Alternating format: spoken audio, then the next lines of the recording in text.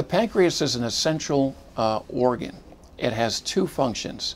One function is a digestive function, which produces what are called exocrine enzymes, the exocrine function. Uh, these digestive enzymes allow us to process and digest different types of foods, especially essential fats. The other important function of the pancreas is a hormonal function uh, in which the pancreas produces insulin, typically through the beta islet cells. Now, this function is, of course, the most, the mo most well-known function that, that most people are aware of.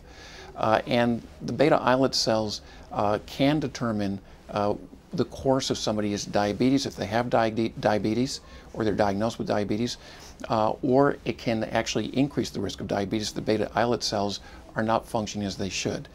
Uh, in type 1 diabetes, for example, these children produce an antibody that attacks the beta cells and the pancreas uh, loses its ability to function uh, to produce insulin.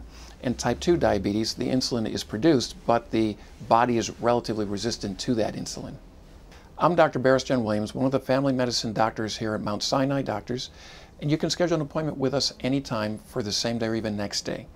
I see patients of all ages, and we'd be happy to see you.